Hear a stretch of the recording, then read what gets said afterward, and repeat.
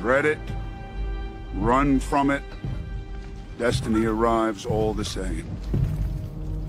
And now it's here. Or should I say, I am. The universe lies within your grasp.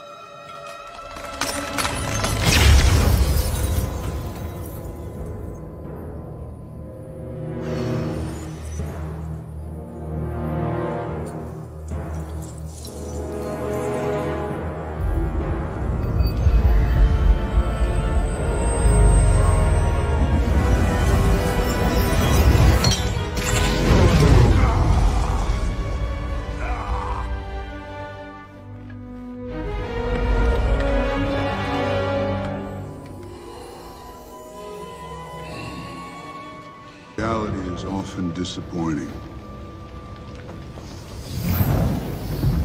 That is, it was. Now, reality can be whatever I want.